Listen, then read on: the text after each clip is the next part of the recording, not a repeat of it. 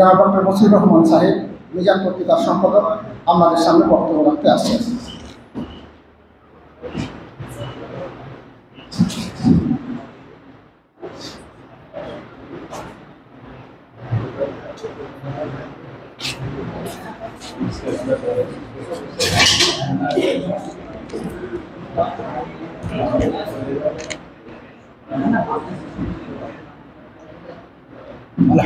अलहमदिल्ला रबीआलमीन असलातम रसूल अमीन वसाहबी अजमाई अम्माबाद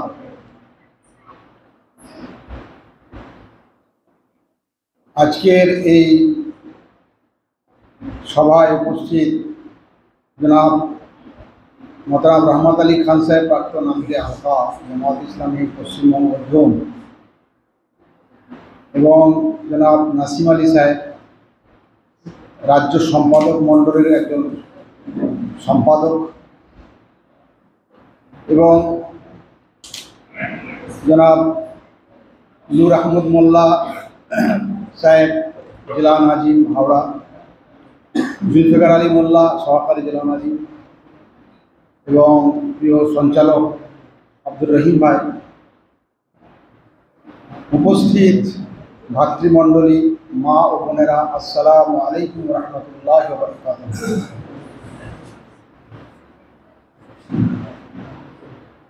বক্তব্যের যে বিষয়, এতে তিনটে পয়েন্টস রয়েছে। একটা হলো যে মুসলিম সমাজের মধ্যে একতা সৃষ্টি করার বিষয়ে চিন্তাভাবনা। দুই হলো, যে দেশে আমরা বসবাস করছি, এই ভারতবর্ষ, এই ভারতবর্ষের যে বিপুল সংখ্যায় জনগণ বসবাস করেন, প্রায় একশো পঁয়ত্রিশ কোটি মানুষ, তাদের মধ্যে কীভাবে একতা সৃষ্টি হবে? এ বিষয়ে কি চিন্তা ভাবনা করা দরকার? প্র্যাকটিক্যালি কি করা যায় করতে পারা যায়, সে বিষয়ে চিন্তা ভাবনা তৃতীয় বিষয় হলো যে জামাত ইসলামী হিন্দ এ বিষয়ে কি কাজ করেছে? প্রথমত আমরা কোরআন এবং হাদিস এ বিষয়ে কি বলে তা আমরা জানি। আল্লাহ রাবুল আলমিন কোরআন শরীফে ইরশাদ করেছেন, মুসলমানদেরকে উদ্দেশ্য করে, মুসলিম উম্মাকে উদ্দেশ্য করে যে মুসলমানরা যেন সকলে এক থাকে, একতাবদ্ধ থাকে।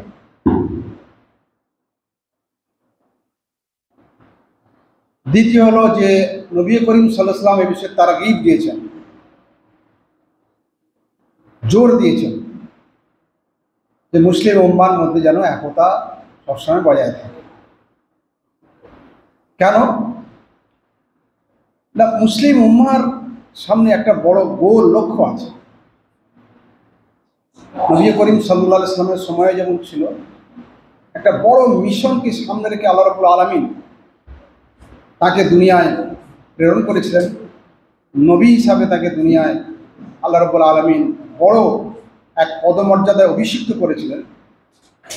সেই মিশনের লক্ষ্য ছিল ইসলামী সমাজ ব্যবস্থাকে প্রতিষ্ঠিত করা, দিনকে কায়েম করা, দিনকে প্রতিষ্ঠিত করা।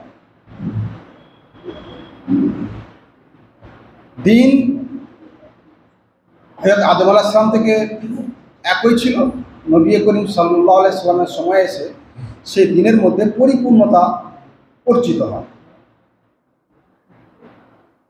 দিন কায়েমের লক্ষ্যে সব রসুল্লাহ কাজ করেছেন এবং তাদের সহযোগী নবীরাও কাজ করেছেন। নবী করিম সাল্লাহ সাল্লামকে বিশ্ব মানবতার জন্য শ্রেষ্ঠ নবী পাঠানো হয়েছিল। তাই আল্লাহ রাবুল আলমিন তার মাধ্যমে এমন এক সমাজ ব্যবস্থা নির্মাণের জন্য আন্দোলন সৃষ্টি করিয়েছেন, যেটা আমাদের সামনে একটা মডেল আছে স্বাভাবিকভাবে এখানে যদি নবী করিম সাল্লা সাল্লামের সময়ে সাহাবাই কেরামদের মধ্যে যদি একতা না থাকতো, তাহলে এত বিশাল বড় একটা টার্গেটে পৌঁছানো সম্ভবপর হতো না।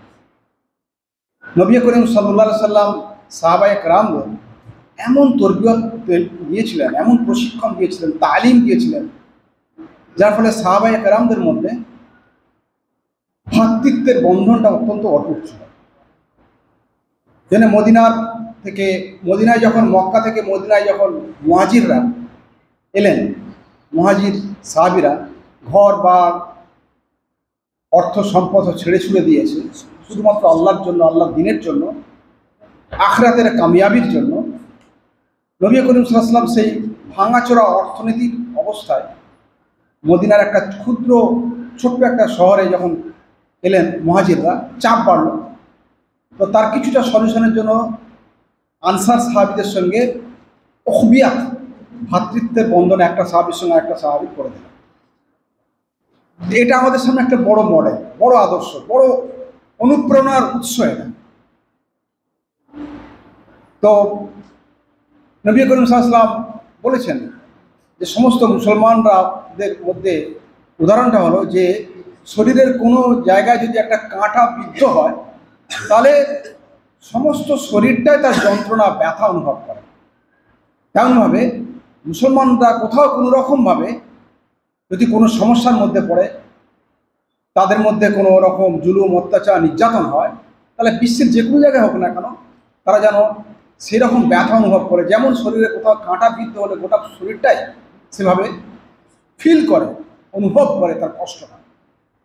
এ সুন্দর উদাহরণ দিয়ে আল্লাহ রসুল সাল্লাম মুসলমানদের মধ্যে একতার ফিলিংসটাকে তোলে। আচ্ছা এবারে আমরা আমাদের দরকারটা কি?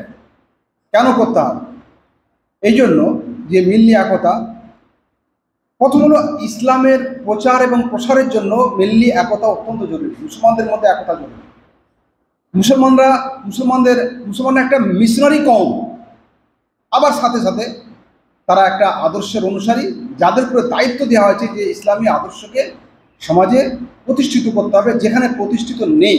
সে যে যে যুগেই হোক না কেন, আর যে দেশেই হোক না কেন, যে ভূমি হোক না কেন তাহলে এর প্রথম যে শর্ত হলো, এর প্রচার এবং প্রসারের কাজটা করা। তাহলে এই প্রচার এবং প্রসারের কাজের ক্ষেত্রে যদি আমাদের মধ্যে পারস্পরিক সহযোগিতা থাকে, মুসলিম উম্মা যদি একযোগে, একসঙ্গে এই কাজটা করে বুদ্ধিভিত্তিকভাবে সুন্দরভাবে করে, তাহলে এই কাজটা খুব সহজে আমরা একটা আমাদের লক্ষ্য মাত্রায় পৌঁছে যেতে পারব। যখনই আমাদের মধ্যে বিচ্ছিন্নতা আসবে আমাদের লক্ষ্য লক্ষ্য যে টার্গেট যেটা যেটা আল্লাহ রসুল আসলাম আল্লাহ রাবুল আলমী আমাদের টার্গেট দিয়ে দিয়েছেন। দিনকে প্রতিষ্ঠার জন্য, দিনের প্রচার এবং প্রসার, প্রসারের জন্য। তা থেকে যখন আমাদের আলাদা আলাদা মুখ হয়ে যাবে মানে আমাদের কারোর মুখ অন্যদিকে, কারোর মুখ অন্যদিকে, তাহলে কি হবে? একতা যেমন নষ্ট হবে, তাহলে মূল টার্গেট মূল লক্ষ্য যে জন্য উম্মাকে আল্লাহ রবুল আলমে তুলেছেন, তাদের দায়িত্ব দিয়েছেন সেই দায়িত্ব সম্পাদন, সুচারুরূপে সম্পন্ন হতে পারবে না, বরং ব্যর্থ হবে। আর সেটাই কিন্তু আজকে যুগে হচ্ছে। এক নম্বর। দুই হলো যে দিনের প্রতিষ্ঠা হলো অত্যন্ত একটা গুরুগম্ভীর বিষয় এবং খুবই একটা বড় টাস্ক খুব বড় একটা হিমালয়ান টাস্কের মতো, তার থেকে বড় কঠিন কাজ। তাই এত বড় একটা আইডিওলজিক্যাল মুভমেন্ট একটা আদর্শিক আন্দোলন, সেই আন্দোলনকে যখন আগিয়ে নিয়ে যেতে হবে, তাকে তার ডেভেলপমেন্ট ঘটাতে হবে তাহলে সেখানে যদি মিল্লাতের মধ্যে একতা না থাকে, তাহলে দিন কায়েম হওয়া সম্ভবপর নয়। তিন নম্বর হলো যে সব যুগে, সব কালেই ইসলামের বিপক্ষে শক্তি থাকবে। থাকবে এবং এই শক্তির মোকাবিলা করার জন্য মুসলিম মিল্লাতের মধ্যে একতা অত্যন্ত জরুরি। সেখানে যদি নিজেদের মধ্যে যদি বিচ্ছিন্নতা বোধ থাকে, আলাদা আলাদা চিন্তা ভাবনা কাজ করে একে অপরের বিরুদ্ধে যদি আমরা ফতুয়াবাজি করতে থাকি, একে অপরকে আমরা যদি খারাপ নামে সম্বোধন করি, একে অপরের বিরুদ্ধে যদি আমরা গালিগুলুজ করি, একে অপরের বিরুদ্ধে যদি আমরা কুৎসা রটনা করি, আমরা যদি বিভিন্ন সংগঠনের নেতৃস্থানীয়দের বিরুদ্ধে যদি আমরা খারাপ কথাগুলো তুলে ধরি বক্তব্যে লেখনের মাধ্যমে, তাহলে সেখানে একতা থাকবে। তো এই জায়গাটা আমাদের খুব মানে খুব সিরিয়াসলি আমাদের ভাবা দরকার রয়েছে। এবং মুসলিম উম্মাকে ভাবানোর দরকার রয়েছে। বিশেষ করে যারা লেখক, যারা বক্তা, যারা ওয়াইজিন, তাদেরকে বিশেষভাবে ভাবতে হবে। তাদের দ্বারা কতটা বেশি প্রচারিত হয়? সাধারণ আম মুসলমান অতটা এ বিষয়ে কনসার্ন নয়। আর তাদের দ্বারা তো প্রভাবিত হয় তাদের বক্তব্যে, তাদের লেখনীতে। সেখানে ইন্তেশার মানে বিচ্ছিন্নতাটা খুব বেশি প্রকট হয়ে দাঁড়ায়।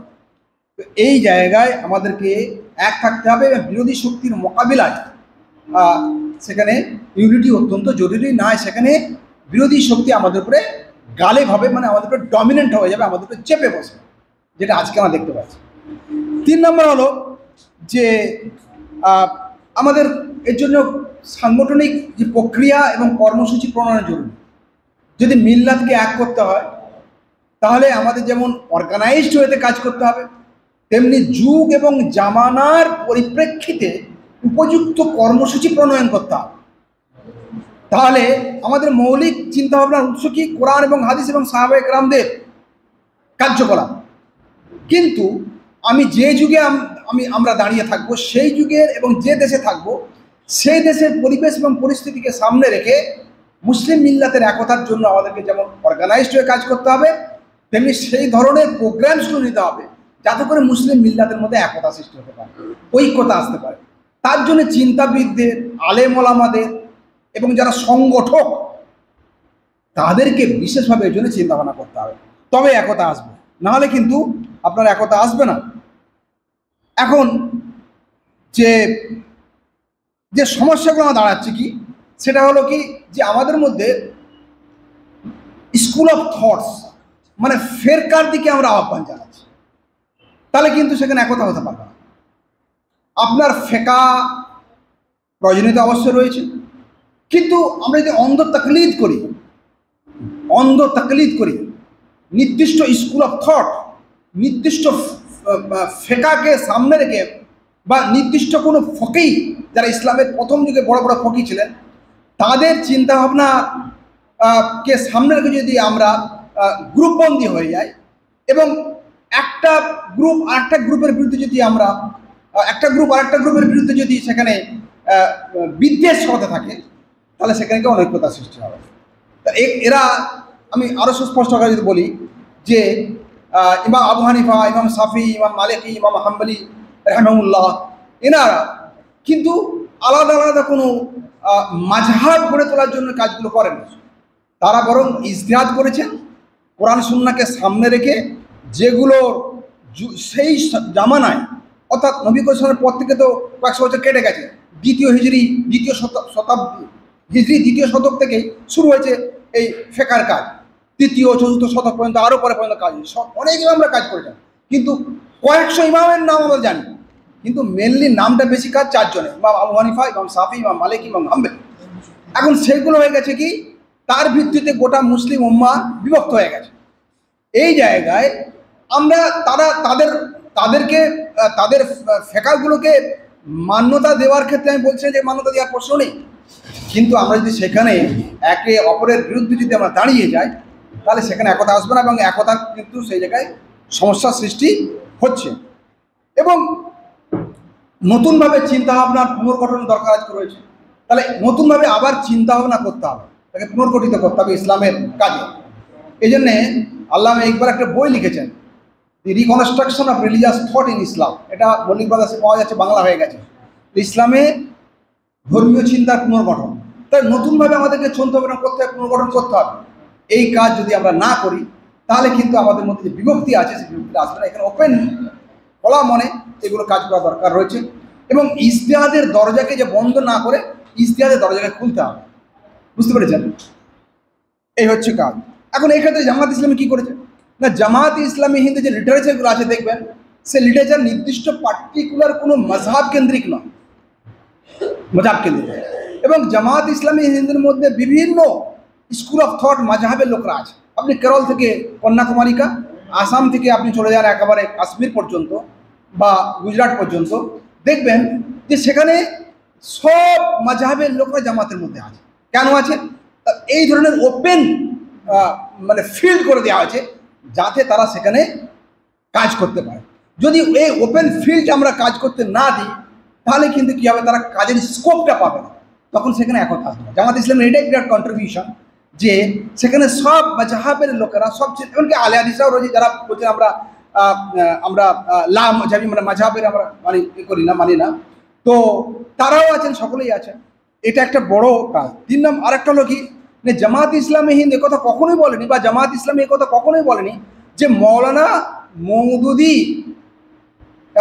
যে চিন্তা ভাবনা সেই চিন্তা ভাবনাটাকেই আমরা প্রাধান্য দেবো ইন কম্পারিজন টু কোরআন সুন্না কোরআন এবং সুন্না কি বলেছে তা নয়, বরং মৌলানা মৌদুদি যা বলেছেন ওটাকেই আমরা গ্রহণ করে আমরা এগাবো, এমন কথা জামাত ইসলামী বলে বরং জামাত ইসলামের সংবিধানে যে কথাটা পরিষ্কার বলা আছে যে আমাদের যা কর্মসূচি প্রণয়ন হবে আমাদের চিন্তাভাবনা যে উৎস হবে, আমরা যে সিদ্ধান্তগুলো নেব, তার মূল হচ্ছে কোরআন এবং সুন্না এবং সাহাবাই কেরামদের ঐক্যবদ্ধ ইজমা যাকে বলা হয়, এগুলো আমাদের, আমরা দেখি। এগুলো আমাদের কনস্টিটিউশন জামাতের সংবিধানে লেখা আছে এর ফলে এখানে কোনো বিভক্তি আসছে না। তো এইটা যদি আপনার সব মুসলিম মিল্লাতে সকলে যদি এই কথাটাকে ঠিকমতো মেনে নেয়, তাহলে একতার বন্ধনটা সৃষ্টি হওয়াটা খুব অসুবিধাজনক হবে না। তাহলে এর দ্বারা প্রমাণ হলো যে আমাদের বিরুদ্ধে যে যে কথাটা বলে, সেকুলার লবির লোকেরা সেকুলার লবির লোকরা ইচ্ছা করে বলে, বা অন্যান্যরা বলে। হ্যাঁ মানে বিভিন্ন ধর্মীয় সংগঠনের তরফ থেকে যে এরা মৌদুদিবাদ, কিন্তু প্রকৃতপক্ষে মৌদুদিবাদের সঙ্গে জামাত ইসলামের কোনো সম্পর্ক কোনো রকম নেই। এবং মৌলানা মৌদুদি নিজেও বলেছিলেন যে, আমি জামাতের যে এমারত আমার দায়িত্ব আমাকে দেওয়া হয়েছে, এক্ষেত্রে আমি আমার স্বাধীন চিন্তন ইস্তেহাদের কাজগুলো আমি যে করব সেখানে যেন জামাত ইসলামে আমার জন্য আর না হয়ে যায় বাধা না হয়। এবারে সেটাকে তোমরা অ্যাকসেপ্ট করতে পারো, না করতে পারো। কোরআন এবং শূন্য দিয়ে তোমরা যদি মিলিয়ে দেখো, যেটা অ্যাকসেপ্টেবল নয় তোমরা না মানতে পারো। সেটা স্বাভাবিক। এবং আমার ভুল হলে সে ভুলটা ধরিয়ে দিতেও পারো। তো এই জায়গায় অধ্যাপক গোলাম হিসেবে দেখবেন যে তার বইয়ে এই কথা লিখেছেন যে কোন কোন জায়গায় মরার মধ্যে কোন জায়গায় লেখার ক্ষেত্রে ভুল ত্রুটি আছে সেটা কিন্তু তিনি বলেও দিয়েছেন। তাহলে এই এতটা ওপেন মাইন্ডেড হয়ে জামাত ইসলামে কাজ করছে ফর কি জন্য? না যাতে মিল্লাতের মধ্যে একতা হয় এবং খোদ জামাতের মধ্যে কোনো ইন্তেসার, কোনো বিশৃঙ্খলা না সৃষ্টি হয়। এবার হলো জামাত প্র্যাকটিক্যালি কাজ করেছে না practically Jamaat Islami all India Muslim personal law board কায়েম করে দিয়েছে। যখন গত শতাব্দীর সত্তর দশকে মানে শুরুয়াতটা ইন্দিরা গান্ধীর সময় থেকে শুরু হলো মানে কংগ্রেসি জামানায়, যে পার্সোনাল লকে মুসলমানদের তুলে দিয়ে অভিন্ন দেওয়ানি বিধি প্রবর্তন করার একটা প্রয়াস সেন্ট্রাল গভর্নমেন্ট থেকে শুরু হলো। তো, যখন শাহবানু মামলার কেসটা দাঁড়াল এবং রায় সুপ্রিম কোর্ট দিল, তখন জামাত, সমস্ত মুসলিম মিল্লাতে যতগুলো দিনই জামাত ছিল তাদেরকে নিয়ে all India Muslim personal law board কায়েম করল, বোম্বেতে প্রথমের অধিবেশন বসেছিল। এবং এখানে সুন্নি এবং শিয়া সব সেকশনের ওলামায় ক্রাম এবং নেতৃস্থানীয়রা আজও পর্যন্ত all India Muslim personal law বোর্ডে সামিল আছেন এবং তারা আলহামদুলিল্লাহ কাজগুলো করছেন। এটা একটা প্র্যাকটিক্যাল কাজ জামাত ইসলামী। এই আফটার ইন্ডিপেন্ডেন্স স্বাধীনতার পরে জামাত ইসলামী এই কাজটা বড় একটা কন্ট্রিবিউশনের কাজটা জামাত ইসলামের দ্বারা হয়েছে। এবং অন্যান্য জামাত শেখা অবশ্যই তারাও সুন্দরভাবে পজিটিভলি সেবা নিয়েছে, তারাও সে কাজগুলো করছে, তাদেরও ক্ষেত্রে কন্ট্রিবিউশন আছে। কিন্তু চিন্তাভাবনার ক্ষেত্রে জামাতের জামাত চিন্তা ভাবনা করতে এখানে প্রাগ্রসর ভূমিকা পালন করেছে এই ক্ষেত্রে।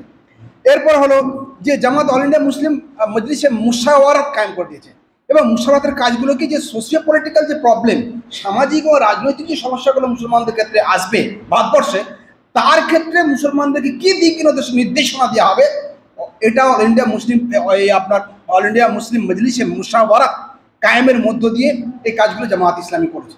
এবং জামাত ইসলামী কেন্দ্রীয় নেতৃস্থানীয় রাজ্য নেতৃস্থানীয় যারা ছিলেন, তারা বরাবরই চেষ্টা করেছেন যে যারা অন্যান্য যারা মাক্তাবায় ফিকির যারা আছেন, যারা তাদের ওলামাইদের সঙ্গে যোগাযোগ করা। এই জন্যে দেবন্ধে জামাত ইসলামী লোকেরা গেছেন, তাদের আলিমদের সঙ্গে মোলাকাত করেছেন তো জামাতের সঙ্গে বারবার ডায়ালগ করেছেন, অন্যান্যদের সঙ্গে করেছেন। তো এগুলো কারণটা কি?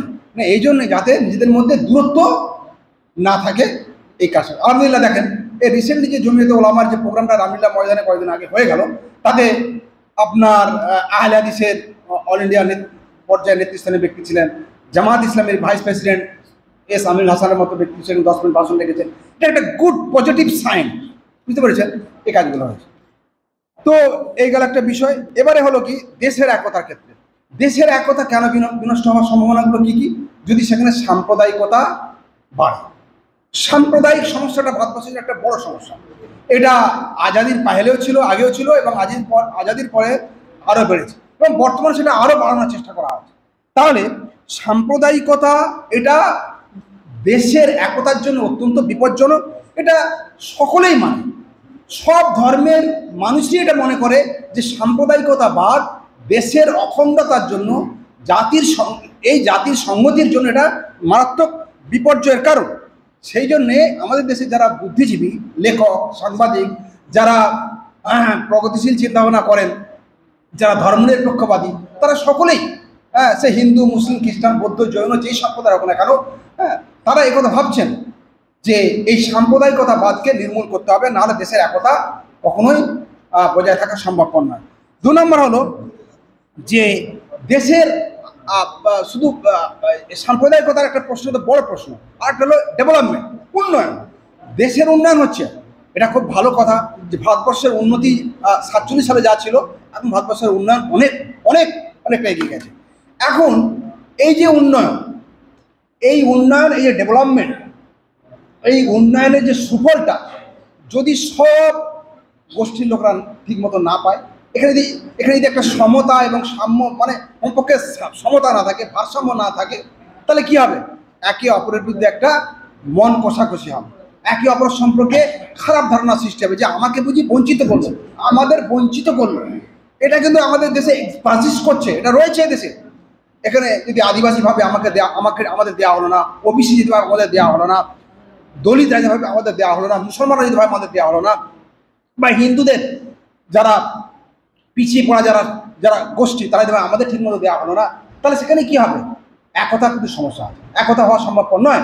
কারণ মনের মধ্যে সেখানে মিল হবে না। যে ভাবলাম, আমরা বঞ্চিত, আমরা ডিপ্রাইভ এটা একটা প্রবলেম আর কি? আর একটা হলো যে আপনার এই- উন্নয়নটা কি আমাদেরকে সার্বিক উন্নয়নের দিকে ইনক্লুসিভ ডেভেলপমেন্টের দিকে নিয়ে যেতে হবে। এটা সেন্ট্রাল গভর্নমেন্টের দায়িত্ব, এটা রাজ্য সরকারের দায়িত্ব, এবং উন্নয়নের সুফলটা সবাই যেন ভোগ করে। সেই কাজটা কিন্তু সরকারের বিশেষভাবে দায়িত্ব রয়েছে। এখানে পলিটিক্যাল পার্টি যারা শাসক দল, যারা বিরোধী দল, তাদেরকে একযোগে এই কাজটা করতে হবে। কিন্তু ভারতবর্ষের সমস্যা হলো এই, আমার তো সময় নেই, যে ভারতবর্ষে একটা সমস্যা হলো একটা বিশেষ প্রিভিলেজ সেকশন গ্রুপ হ্যাঁ? যারা সকল তথাকথিত উচ্চ বর্ণের মানুষ, এটা তো বলতে কোনো অসুবিধা নেই, এটা খুবই ওপেন সিক্রেট কথা, যে উচ্চ বর্ণের যারা মানুষ, তারা কিন্তু বরাবরই দেশকে শোষণ করে এসছে। এবং এর হিস্ট্রি এর হিস্ট্রি খ্রিস্টপূর্ব দেড় এক হাজার দেড় হাজার সাল থেকে আপনার আজও পর্যন্ত সেটা অব্যাহত রয়েছে। এবং সেটাকে তারা আরও সুপ্রতিষ্ঠিত করতে চাচ্ছে বর্তমানে এক শ্রেণির লোকেরা। তাহলে এই জায়গা থেকে মুসলিম দেশকে বাঁচানোর দায়িত্ব আছে গোটা দেশবাসীর এবং জামাত ইসলামের এক্ষেত্রে ভাবনা হলো এই যে সাম্প্রদায়িকতাবাদকে নির্মূল করতে হবে। সাম্প্রদায়িকতার বিরুদ্ধে জামাত ইসলামী স্বাধীনতার আগেও ছিল, এখনও আছে এবং থাকবে। কেন? এইটা এই ঘৃণা, বিদ্বেষ এবং সাম্প্রদায়িকতা, এগুলো ইসলামের সঙ্গে সম্পূর্ণরূপে ইসলামের বিরোধী কার্যক্রম নবী করিম বলেছেন, কেউ যদি মানে কাউকে গোষ্ঠীবাদের দিকে ডাকে, তাহলে সে আমার অনুসারী নয়। তাহলে গোষ্ঠীবাদের দিকে ডাকা, সাম্প্রদায়িকতার দিকে ডাকা যে সে কোনো আল্লাহ রসুলের উম্মা হতে পারে না। তাহলে এই জায়গায় অসাম্প্রদায়িক চেতনা নিয়ে আমাদের কাজ করতে আর যারা আদর্শবাদী হয় তারা কেন সাম্প্রদায়িক হবে? তা তাদের তো আদর্শকে প্রতিষ্ঠা করা তাদের পক্ষে সম্ভবপর নয়। জামাত তাই সাম্প্রদায়িকতার বিরুদ্ধে আওয়াজ তুলেছে এবং প্র্যাকটিক্যালি কাজ করেছে। দুই হলো, জামাতের বক্তব্য হলো যে দেশের ডেভেলপমেন্ট যেমন হচ্ছে, আরও আমাদের করতে হবে। কিন্তু এর উন্নয়নের সুফলটা সবাই যেন পায়, এখানে যেন সাম্য এবং সমতা কমপক্ষে সমতা যেন বজায় থাকে, যেটা কনস্টিটিউশন সংবিধানে বলা আছে, সেই কাজটা করতে হবে। এই জন্য জামাত লিটারেচারের মাধ্যমে, বক্তব্যের মাধ্যমে বিভিন্ন ডায়ালগ সিম্পোজিয়াম সেমিনার মিটিং সিটিংয়ের মাধ্যমে এবং সরকারের কাছে আপিল করেছে, বারবার বিবৃতি দিয়েছে, দিয়ে জনগণের মধ্যে চেতনা আনা সৃষ্টি করা হয়েছে সরকারকেও স্মরণ করে দেওয়া হচ্ছে তার দায়িত্ব। এবং জামাত প্র্যাকটিক্যালি যে কাজটা করে সেটা হলো এই যে FDCA forum for democracy and communal amity কায়েম করেছে এবং সদ্ভাবনা মায়েঞ্চ কায়েম করেছে এবং সেই সঙ্গে সঙ্গে ধার্মিক জনমোর্চা কায়েম করেছে। এইগুলো করার কারণটা কি?